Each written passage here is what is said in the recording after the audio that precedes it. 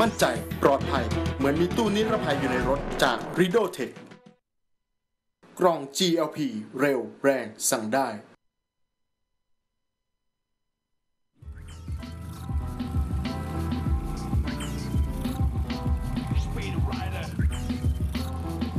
ครับผมสู่ช่วงที่ 4 ของรายการ Speed Rider นะฮะ ทางช่อง Speed Channel Television 691 ครับ ทุกวันจันทร์ถึงวันศุกร์เวลา 18นาฬิกา30นาทีถึง 20นาฬิกา40นาทีนะครับ มาพูดคุยในเรื่องของรถอย่างเดียวนะครับไปถึงเรื่องของวงการรถสปอร์ตแล้ววันนี้ครับ พี่อ้นอยู่กับเรานะครับ สาย 2 จังหวะนะครับ ถามเข้ามากันได้เลย ทักทายกันเข้ามาได้เลยนะครับ แต่ก่อนอื่นครับ ขอขอบคุณผู้สนับสนุนใจดีครับผมนิตยสารรายเดือน Fast Bike Thailand คิดถึงอะไรแต่งคิดถึง X Speed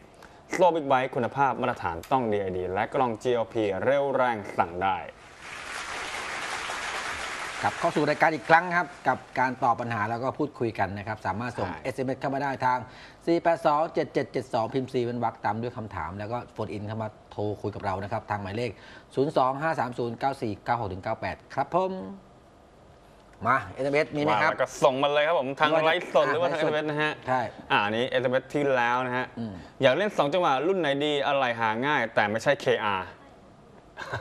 จริงๆ ในในโหมดในโหมดนี้มันบีก็ดต้อง LS LS ใช่ไม่ไม่ต้องอยู่ LS ต้องอยู่ด้วยนะว่าเขาอะร้อยห้าสิบหรือร้อยยี่ห้าถ้าร้อยห้าสิบยังมีตัวเลือกอีกเยอะ พี่ตู่พี่ก๊อฟ NNR ยังมี NSR TZ ยังมี TZ นะครับแล้วก็ยังมี ซูซูกิแกมมาโอ้โหแกมานี่รู้สึกจะหายากสุดแล้วนะ แต่ว่าถ้าเกิดใครมีได้เทพเลยนะ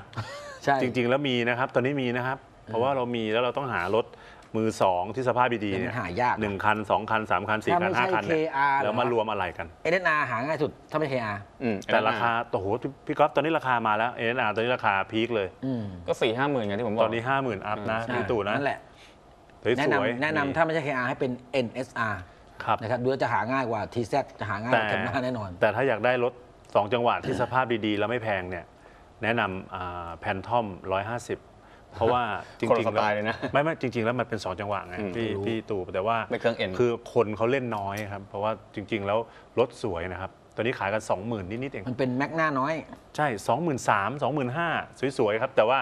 คนเขาเล่นน้อยแล้วตลาดเขาก็เหมือนเราไปเหมือนเราไปขี่อยู่คนเดียวอะ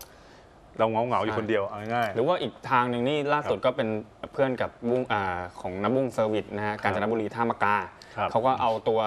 Cagiva Stella ออกมาขายใช่อ่า ยังมีรถช้างน้อยยังมีรถนะยังมีรถยังครับมีนะ ยังมีรถก็อย่างกรณีบุ้งเซอร์วิสเนี่ยบุ้งธรรมการเนี่ยก็เป็น buddy กันเป็นเพื่อนกันนะ เป็นเพื่อนต่างต่างค่ายหรือเป็นค่ายเดียวกันนี่แหละเพราะตอนหลังบุ้งก็จับ Cagiva เราก็จับ Cagiva บุ้งเขาจับคาวาเราก็จับ Cagiva เขาเขารู้จักกันอืมนะครับ ทีนี้เขาทำเอาช้างน้อยออกมาขายเนี่ยค่อนข้างเยอะนะ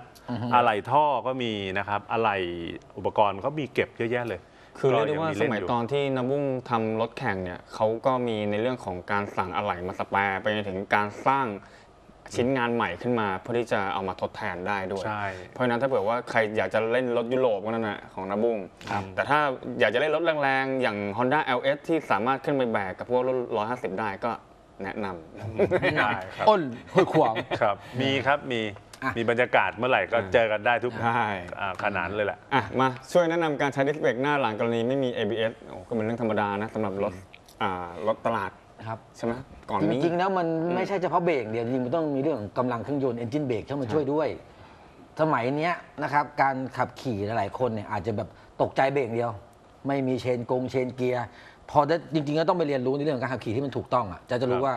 ยกคันเร่งปุ๊บเครื่องยนต์ทำงาน engine brake ทำงานเชนช่วย แล้วก็เบรกมันจะช่วยให้รถนี่หยุดนิ่งได้ดีขึ้นหลายๆคนมาถึงปื๊ดบิดมา180อยู่ดีก็เบรกเลยโอ้โห มันไม่มีไงก็ไม่อยู่ครับต่อให้ ABS ยังไงมันก็ไม่อยู่นะครับ เพราะว่า engine brake ช่วยได้เยอะในเรื่องของการเชนลงไปเนี่ยดึงดึงมันดึงอะใช่พอมันดึงปุ๊บแล้วค่อยเบรกเนี่ยมันจะช่วยได้เยอะนะครับแล้วยิ่งสมัยนี้คือสี่จังหวะเนี่ยถ้าเผื่อว่าแค่ยกคันเร่งอะก็เหมือนกับมี engine ใช่ brake แล้วก็ช่วยแล้ว ไม่เหมือนกับสองจังหวะ ซึ่งเมื่อก่อนเนี่ย สองจังหวะพอยกคันเร่งไหลก็จะโล่งว้าวโล่งนี้ก็ต้องใช้เกียร์ช่วยใช่ ตึ้งเชนตึ้งเกียร์ตึ้งง่ายๆ แต่สี่จังหวะสมัยนี้ยกคันเร่งทีก็คือ engine brake เพราะฉะนั้นการขับขี่บางคนเนี่ยเข้าใจผิดว่าจะต้องใช้คลัตช์คลัตช์เนี่ยมีมีแค่เอาไว้ตอนเปลี่ยนเกียร์ เปลี่ยนเกียร์ จอดแล้วก็จอดแล้วก็จอดแล้วก็ออกตัวออกตัวครับ แค่นั้นเองนะครับจริงๆ เวลาเบรกไม่ต้องกำคลัตช์นะครับเป็นรถที่มีคลัตช์ทุกรุ่นเลยไม่ว่าจะเป็นสองจังหวะสี่จังหวะ engine brake พอจะเลยไปเรียนรู้จริงแล้วเขาจะคนครูฝึกเขาจะบอกเลยคุณไม่ต้องไปยุ่ง ออกตัวปุ๊บใส่เกียร์ปุ๊บ รอเปลี่ยนเกียร์แล้วก็ปล่อยไปแล้วก็กำกำกำแฮนด์อย่างเดียว ครับ แล้วก็กำคลัตช์กำอย่างเดียวเวลาเบรกเบรกเลยครับไม่ต้องไปเกี่ยวกับคลัตช์เบรกจนรถชะลอใกล้แล้วค่อยกำคัด ใช่อ่า จริง ๆ แล้วไอ้ระบบเบรกเนี่ย A ABS เนี่ยนะครับ Airbag Center เนี่ยจริง ๆ แล้วเปอร์เซ็นต์ที่ช่วยละ Anti อ่า Brake System อ่า System เนี่ยจริง ๆ แล้วเราเราไปเข้าใจว่า คือพอมีตัวนี้ปุ๊บโอ้โหแล้วเบรกอย่างคิดว่าอยู่สนัดเลยไม่ใช่ครับ เปอร์เซ็นต์ที่ยางทำงานหนักเกิดขึ้นเลยครับ และตรงนั้นเราจะมีปัญหานะครับใช้แค่ไม่มากครับ อ่านะพี่ตู่ที่แจงตัวนั้นก็ประมาณ 70 กับ 30อย่างที่บอกใช่ถ้าไหมเผื่อว่าจะจะจะชะลออย่างสไตล์สไตล์รถแข่งเนี้ยคือเขาจะใช้อยู่ที่ประมาณ 70-80ถึง80 เบรกหน้าจะเยอะกว่านะครับอืมแล้วก็ถูกต้องที่เหลือก็เป็นเบรกหลังไปครับนะครับถ้าจะให้หยุดนิ่ง แต่สำหรับในสนามเนี่ยมันแค่ใช้เป็นชะลออย่างเดียวไม่มีการหยุดนิ่งเพราะฉะนั้นถ้าเผื่อว่าจะเอาแบบว่าให้หยุดนิ่งจริง70 30คือว่ามาปื๊ดกดหน้าก่อนอืมจะเบรกปุ๊บ70กดหน้าก่อนพอหน้าปื๊ดแล้วค่อยเจ็ดใช้เบรกเท้าตาม เดี๋ยววันหลังจะเอารถมาสาธิต เพราะ คงไม่ใช่แบบยกรถเหมือนเมื่อก่อนนะนะจะสาธิตว่าเบรกอะไรยกไปเลยเบรกอะไรที่แบบว่าเอ่อเขาเรียกอะไรอยู่ที่สุด อ่าจมันริง มีทั้งหมดๆจะสาธิตจาก NSR ก็ได้ แต่ว่าเราไม่อยากจะไปดันอะไรมากเพราะว่า ใช่ใช่ การสาธิตนี่คืออะไรรู้ไหมฮะ เริ่มต้นเนี่ยจะให้ผู้ขับขี่เนี่ยเหยียบเบรกหลังอย่างเดียว จะสังเกตว่าเราอะสามารถที่จะดันได้ด้วยกำลังคน2-3คนเนี่ยถ้ารถอย่างเนี้ยดันได้ แต่ถ้าเบรกหน้าอย่างเดียวเนี่ย ต่อให้ 5 คน 10 คน ยังไงก็ไม่ไปอ้าวไม่เชื่อลองดูถ้าพื้นมันฝืดๆอะนะ กับพื้นธรรมดาเนี่ยกับพื้นแต่แต่แต่ถ้าอย่างนี้มันไม่แน่ไงอะอย่างนี้พื้นยางไม่เออแน่อย่างนี้ไม่ได้ แต่ถ้าเป็นพื้นถนนเนี่ยอ่าพื้นถนนยังไงก็ไม่ไปใช่รถนะฮะรถเนี่ยตูดยกเลย ยกตูดท้ายเลยยกขึ้นมาอย่างนี้เลยก็ไม่ไปใช่ห้าหไม่กไปคนนะครับนะฮะก็คือน่าจะเบรกรู้หน้าว่าคือเบรกที่ดีที่สุดเดี๋ยวเราจะมาลองให้ดูในรายการใช่ครับนะครับ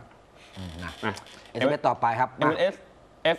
M S X F S F นะฮะใส่เกียร์กำคัดแล้วแต่สตาร์ทไม่ติด มันยังไงฮะ อะไรครับงงอ๋อ ทำไมต้องใส่เกียร์ต้องกำคลัตช์ล่ะ เพราะอย่างบางทีเครื่องดับ อ๋อเครื่องดับก็เลยต้องบีบคลัตช์แล้วก็อ๋อ สตาร์ทชึ่ง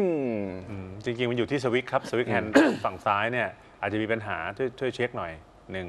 จริงๆแล้วมันต้องเข้าเกียร์ว่างก่อนถึงจะถูกต้องแต่ว่าจริง ๆ ด้วยระบบแล้ว เขาจะทำสวิตช์ตัดไว้ให้ตัวหนึ่งอืมอยู่ในมือคลัตช์เรามันจะเหมือนกับคลัตช์แท้คลัตช์เทียมหรือเปล่าที่อย่างบางบางบางรุ่นเนี่ยที่แบบพอกำคลัตช์แล้วสตาร์ทเท้าอะจะวืด ครับ แต่ว่าบางอย่างรถผู้ชายอย่าง KR อย่างพวก N- เอ่ออย่าง CBR อย่างเงี้ยครับกำคลัตช์แล้วมันได้ แต่ MX ตัวนี้มันไม่มีคันสตาร์ทครับไม่มีพี่พี่ตู่เพราะว่ามันใช้สตาร์ทมืออแต่ทีนี้ในระบบเซ็นเซอร์ที่ที่มือคลัตช์เนี่ยเขาจะมีบวกลบไง คือพอเรากำปุ๊บเนี่ยเซ็นเซอร์ไฟท้ายติดถูกต้องไหมครับ แล้วก็ติดเครื่องได้ ตรงนั้นแหละมันจะมีระบบไฟย้อนเลยติดไฟคือจะป้องกันอ๋อไม่ให้ไฟย้อนครับผมอาจจะต้องไอใช้ ตัวที่มันเห็นไหมคลัตช์มีสวิตช์อยู่อ๋อรู้แล้ว ตรงหัว ครับผมเหมือนโซนิกครับลองพี่ตู่เหมืนลอง Sonic แบบว่าเย ลองแตะลองแตะเบรกให้ไฟท้ายติดแค่นิดนึงอะใช่ แล้วลองสตาร์ทดูใหม่ ใช่ครับ ถ้าเผื่อว่าทำอย่างนั้นแล้วไม่ติด ก็นั่นแหต้อละงแก้ไขเราที่ต้องแก้ไขที่สวิตช์ตรงนั้น สวิตช์สวิตช์จตรงริงคัด ๆแล้วจริง ๆ แล้วในเรื่องของระบบสตาร์ทแบบนี้นะง่ายๆครับเพราะเราเราต้องเข้าเกียร์ว่างนะครับเพราะว่าเราไปเข้าเกียร์แล้วสตาร์ทอะซึ่งซึ่งไม่ควรทำหรอกครับเพราะว่าในจังหวะที่เราเสียจังหวะ หรือว่าเรารถเราเสียหลักหรืออะไรต่างๆเนี่ยให้เรากลับมาที่สแตนดาร์ดก่อน แล้วก็สตาร์ทครับติดเหมือนเดิมครับ ถ้าเกิดว่าไปเข้าเกียร์หรือว่าคาเกียร์อยู่คาในจังหวะเกียร์อยู่เนี่ยไปสตาร์ทเนี่ยแล้วมือมือเบรกมือคลัตช์เราไม่ได้กำเนี่ย มันจะสามารถพาเราเหินไปเลยนะครับ แล้วมันจะเสียหลัก เขาอาจจะเคยเจอเหมือนเหมือนผมอย่างหนึ่งที่บอกว่าออกตัวแล้วแบบว่าใส่เกียร์ว่าวว่าปุ๊บแล้วดับดับครับปุ๊บแล้วเฮ้ยยังไงดีรถต้องไหลอะมันอยู่บนถนนน่ะมันครัจะบเบรกไม่ได้อย่างเงี้ยครับเออเอ่อเอาขาตั้งลงหรือเปล่าขาตั้งขึ้นยังอืมต้องบางทีตกใจรถจอดปุ๊บขาตั้งลงกำคัดนั้นก็ไม่ติดเพราะขาตั้งมันอยู่ลงอยู่นะครับต้องดูมันจะมีต้องสาดูยด้วยครับสแตนขาตั้งอยู่ใช่ต้องมันจะดูตัดระบบไฟทั้งหมดนะครับสู้นะครัฮะบผม อะมีสายเข้ามาครับสวัสดีครับพี่โจ สวัสดีครับ สวัสดีครับสวัสดีพี่โจครับมีอะไรให้รับใช้ครับ โถเลาะทำไมเนี่ยอาจารย์อาจารย์เสร็จยังครับรถ อาจารย์เสร็จยัง คันไหนคันไหนครับ KR ตาวาครับ อ๋อ คุณโจ KR ใช่ไหมครับ ใช่ครับผม นี่โชว์ KR รออีกนิดนึงกำลังติดตั้งการสะบัดอยู่ครับผม เพราะว่าในเรื่องของชุดสีอาจารย์จึงใช้ตัว E5 อยู่ณตอนนี้นะครับอาจารย์ครับชุดสี่ทำนี่สามพันห้าแพงไหมไม่แพงของอาจารย์เบิกใหม่เลย ของอาจารย์เบิกใหม่เลยครับ ตัวนี้ของผมเบิกมาใหม่เลยครับ เบิกมาสี่ชุดเลย ชุดสีเนี่ยผมมีทุกสีเลยแต่ผมเบิกมาเตรียมไว้เพื่อที่จะใส่คันเนี้ยจริง ๆ แล้วรถคันนี้มันเป็นรถที่ทุ่มทุนเหมือนกัน แต่ว่า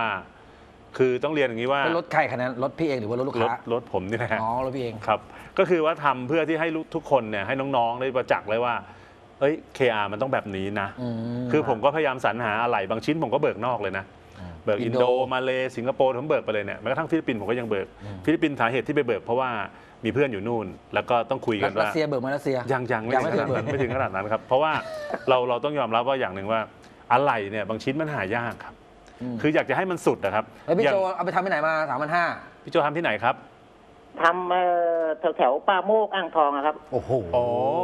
จริง ๆ ราคานั้นไม่แพงครับพี่โจ ทั้งคันเลยใช่ไหมทั้งชุดสีทั้งคันเลยสามพันห้าเนี่ย ร้านนุสบาใช่หรือเปล่าครับ ร้านนุสบาเปล่าโอ้ มันไม่มันนั้นไปเอาชุดสีไปไม่ได้ให้น้องไปเอาอาจารย์อ๋อใช่ไม่แพงครับพี่โจ เพจราะริว่างๆราคานี้ทำในกรุงเทพเองได้เลยนี่ราคานี้ตอนนี้นะพี่โจนะรีบๆทำเลย เพราะว่า สี KR ตัวเนี้ยบางเจ้าเนี่ยทะลุไป 5,000 แล้วอะเออ โอ้โห เพราะอะไรรู้ไหมพี่ เพราะว่าครับ ในเรื่องของแลกเกอร์ ในเรื่องของสีเนี่ยสติ๊กเกอร์ในเรื่องของคาดสติกเกอร์เนี่ยลายอืม ตอนเนี้ยมันไม่มีขายบางรุ่น เราต้องการรุ่นนี้เราก็จะตัดตัดแล้วใครมีความชำนาญเรื่องนี้เราก็ไปเฟ้นหากันมาแล้วมาตัด ตัดเฉพาะสติกเกอร์เนี่ยเอา 3M ลงเนี่ยพี่รู้ไหมว่าสติกเกอร์ตอนเนี้ยราคาทะลักมากเลย อืมจริง ๆ เห็แล้นวงานยังไงของพี่เห็นงานสวยไหมสวยไหมพี่โจ โอ้สวยครับ สวย สวยครับอาจารย์ ถ้าสวยพอใจคุ้มค่าก็ก็จองสามพันห้าก็ผม ยัสงวไงยก็แล้วพี่แนะนมีเรียกมีพิกัดแนะนำเพื่อนๆไว้อยู่แถวอ่างทองมันอยู่ร้านตรงไหนอะไรยังไงอะำอืม อ๋อครับพูดแถวยุทธยาไว้ ยุทธยุทธยาอ่างทองนี่รถสองจังหวะเยอะมากผมเคยเยอะขับไปหาแม่สิงห์บุรีไปรับแม่ที่วัดอภวันเนอะอืม โอ้โหแว้นกันเป็นสิบสิบ จริง ๆ มันมีแต่พี่แต่น้องกันทั้งนั้นแหละครับ เพราะว่าบางทีน้องๆ อยู่ในอ่างทอง อยู่ในสิงห์บุรี อ่างทองก็ต้องเป็นร้านปอนครับ ปอนอะไรแว้น ปอนอะไรซิ่งอะไรแว้นอ่าปอนทูฟาสครับ จริงๆเขาใช้ชื่อร้านเขาเลยครับว่าปอนอะไรแว้นอ่าจริงๆเขาผมชื่ออยากปอนได้อะไรซิ่งพี่ก๊อฟอะครับ อะไรกลับไปเล่นอะไรเหรข้างอในครับ เคสอะไรเหรอครับ ที่โดนขโมยเครื่องอะผมอยากได้อะไรอ๋อไอเรื่เอาองอะไรอะ ไอเรื่องขโมยเครื่องไม่คุยกันแล้วนะครับ เรื่องนั้น ลืมกันหมดแล้วลืมหมดแล้ว เอาอะไรอะ ตอนนี้มีจานมันดิดอยู่กับประกับคันเร่งกันแหละสองอันที่ทำที่ใช้ได้ที่เหลือไม่ได้แล้วครับ อาจารย์ครับไอ้ปั๊มหน้าของผมมันใส่ไม่ได้ มันเป็นปั๊มซ้ายอะผมจะหาใส่ใส่ไปบ้านของแบมโบ้อะปั๊มหน้าซ้ายใส่ไม่ได้อยากจะหาปั๊มขวาของแบมโบไม่ใช่จะจะเอาปั๊มซ้ายของแบมโบ้มีไหมครับอาจารย์ มีครับ มีสิ เยอะแยะไป เยอะแยะไป แต่ว่าแต่พูดตรงๆว่าเราต้องถึงด้วยนะในเรื่องของรายละเอียดในเรื่องของค่าใช้จ่าย เพราะตอนนี้ในในบ้านในแถวบ้านอาจารย์ในโซนบ้านอาจารย์เนี่ยจะมีร้านจอมอะไรแต่งนะครับ แล้วก็ร้านสมภพอะไรแต่งเนี่ยตอนนี้เขานำเข้าอะไรแบมโบโดยตรงเลย เพราะว่าเท่ไหราคาก็ค่อนข้างจะแรงนิดนึงนะครับ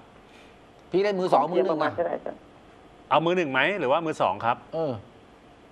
เอา มือมือสองมันเท่าไหร่อาจารย์มือสองมืแบอมสโบ้องไม่ผมมือสอง มันเป็นปั๊มซ้ายนะอาจารย์ ปั๊มซ้ายมันทำ มีแมมโบมันก็มีปั๊มเวลาแมมโบชุดใหญ่มันก็มีปั๊มัมนมีคู่อครยู่บแล้ว มันไม่อืมันมีครบครับอืมซ้ายก็มีขวาก็มีครับ อ่า จริง ๆ ปั๊มเนี่ยตอนนี้มีทั้งซ้ายทั้งขวา แต่ว่าจะเป็นรุ่นไหนก็ช่างคือจะมีแค่ 1,000 ตัวในโลกก็เราก็ยังสั่งมาได้ถ้าเราจะสู้นะครับ จริงๆ จริงๆอย่าอย่าอย่าคิดมากนะเพราะว่าอาจารย์นี่ครับ สั่งได้ครับผม แต่ว่าเราสามารถเรียกเรียกอ่าติดต่อทางน้องที่เขาค้าขายตรงนี้อยู่เนี่ยเรียกมาคุยกันเลยว่า เขาต้องการแบบนี้ คุณโจต้องการแบบนี้ ออเดอร์มาเลยครับว่าต้องการอย่างนี้แล้วรอเลยครับ แล้วดิวดิวดิวกันเลยว่าจะเอาแบบไหนอืมเพราะสั่งได้ครับผมไม่มีปัญหาเลย แม้กระทั่งการสะบัดเนี่ยอาจารย์สั่งมาแค่สี่ตัวนะอืมอืมสั่งมามาเยอะแยะเนี่ยก็คือรถมันสี่คันรถต้องใช้ถึงสี่รถสี่สี่คัคันนครับ คันหนึงก็ร่วมสองแสนต่อต่อตัวนะก็คิดดูว่าการสะบัดแมกนีเซียมมาสั่งมาแล้วอะอืมครับที่ที่ตอนเนี้ยที่ว่ารอติดตั้งอยู่นะครับ เพราะว่าในรถของอาจารย์มันเป็นรถ E5 ซึ่งต้องเรียนอย่างนี้ครับว่าชุดสีเนี่ย ถ้าเหตุที่ว่ามีหลายชุดนี่เพราะอะไร เพราะว่าเราสแปร์ไว้เลย เพราะว่าวันนี้ถ้าเกิดเราออกรายการเนี่ยเป็นสีเผื่อล้มนี้นะ ไม่ใช่ล้มครับ คือบางทีเนี่ย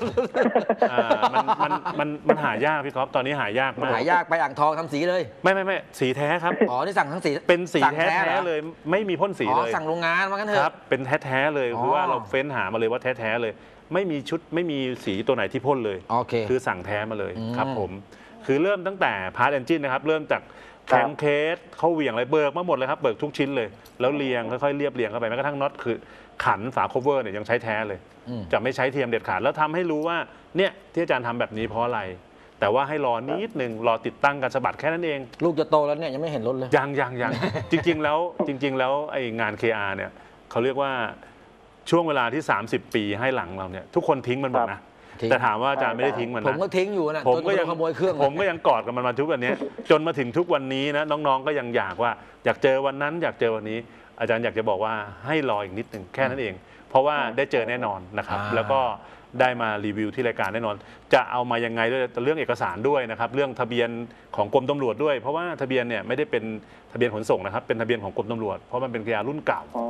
รถตำรวจอาจารย์ครับไม่น้อยผมไม่ไม่ผ่านครับสองปีเนี่ยมัเป็นเป็นมัทะเบียนงไงได้ยาว มันเป็นทะเบียนยาวครับผม ว่า ครับ ผมว่าเลยพี่โจ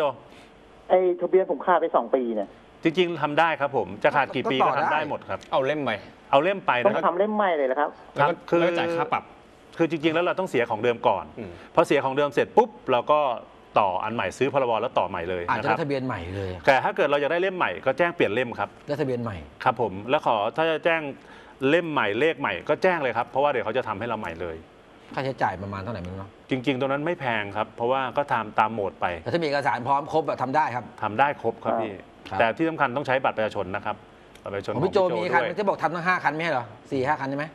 สี่ครับเนี่ยอ๋อสี่พี่คันโจสวย เออ พี่โจทำรถเดิม พี่โจพี่โจเขารีนิวรถเดิม เพื่อที่ทำให้ครับสวยนะครับ แต่คันที่อาจารย์จะมาโชว์เนี่ยมันจะเป็นคันที่เดิมก็จริงแต่ว่าใส่อะไรแต่งเข้าไปอ๋อ นะครับผม ครัอาบจารย์มาแลกกับผมไหมนะ เออแลกกันไหมอยากอยากไหมล่ะ ไม่ไม่อยากไม่จัดให้ สู้ไหมล่ะเออสู้หไม่ถ้าราคาถ้าแบบพี่โจพี่โจเข้ามาเป็นนี่จะเพื่อนเฟซอาจารย์นี่ดิจะท้าดวลแล้วเดี๋ยวแข่งมากันคุยได้ไงกันไม่ใช่ครับ คือภาษาเหงาทั้งคู่ ไม่ใช่ภาษาสองจังหวะเขาจะคุยอย่างนี้ แล้วพี่อะสนใจของผมหรือเปล่าล่ะอ่าอ่าถ้าพี่สนใจก็เข้ามาดูนะเออออะไรเงี้ยจริง ๆแล้วเราเราต้องรักกันอ่าวงการเราแคบๆนะครับคือแคบหรอกจานจ้าอ่าขนมเค้กแค่จานเดียวเนี่ย เราจะแบ่งให้น้องๆกินบ้างก็ไม่เห็นเป็นไรใช่นะให้พี่พี่ไม่ก๊อฟเคยกินบ้างแบ่งนะให้พี่ตู่กินบ้าง เออแต่จริงๆของอาจารย์ก็ไม่อาจเคยจะแบ่งมีให้ใครอยู่นิดแล้ว นึง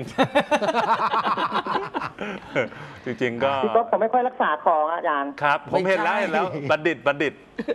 จริงเฮ้ยจริง ๆ ตอนนี้นะถ้าเผื่อว่าไม่อยากอะไรมากนะก็ไปที่แฟลตดินแดงเอ้ยแฟลตห้วยขวางนะคครัรับบเอาอีกแล้ว ห็นวิกเตอร์คนนั้นนะฮะก็จอดอยู่ ดูซ้ายดูขวานะฮะแล้วก็ยกไปทั้งคันเลย ยกไปทั้งคันเลยๆโอ้โหจริง ๆ โครงแข้งเล่มตอนนี้ ทะลุไปเกือบหมื่นแล้วนะผมมีแต่โครงกับเล่ม ตอนนี้แข้งไม่มีแล้ว แข้งเล่มเนี่ยตอนนี้ราคาทะลุไปร่วมหมื่นแล้ว เพราะอะไรรู้ไหมครับ เพราะว่าตอนแรกเนี่ยที่อาจารย์ขายเลยนะ ผมมีร่วมๆประมาณ 10 ชุดเนี่ยผมขายอยู่5,500อืมโอ้โหทีนี้พอ 5,500 ปุ๊บเนี่ยก็จะโดนคัดละ อาจารย์ผมขอโครงสวยนะ โครงโครง E1 E2 E3 พอคัดไปเรื่อยตอนหลังเหลือ E10 อืม ทีนี้เสียดายไง อืม ก็ราคามันก็เลยงอกขึ้นมา จะทำเองซะเลยไม่ใช่ครับ ยังอยู่ครับหลายโครง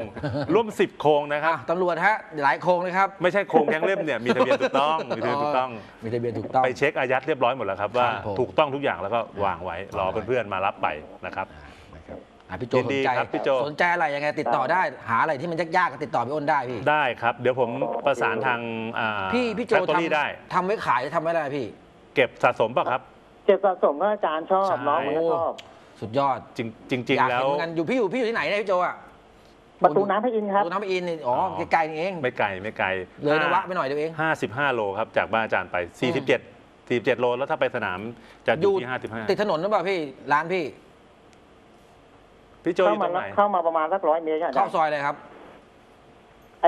หมู่บ้านสีทองครับ หมู่บ้านอ๋อสีหมู่ทอบ้างนสีนะทอง อยู่ฝั่งขาไปใช่ไหมใช่ ใช่ใช่ใช่ครับอ๋อหมู่บ้านสีทองไอเนี่ยโอเคพี่พี่ก๊อฟมันจะอยู่ไอตรงที่ว่าไอตลาดต่อยอดที่กำลังสร้างใหม่อะครับ แทนที่พี่คิงติดติดยังไม่ได้แบร์อะอ่าอ๋อติดมินิโอเคแบร์ด้วยอ๋อครับผมเป็นร้านใช่ไหมพี่เป็นร้านซ่อมใช่ไหมหรือเป็นอะไรโหนี่ครับเป็นร้านแล้วไม่ล่ะ ใช่เป็นเออจะเป็นอู่น้องครับอู่น้องมันเป็นเป็นอู่รถสิบล้อเป็นทีนี้น้องมันชอบอ๋อ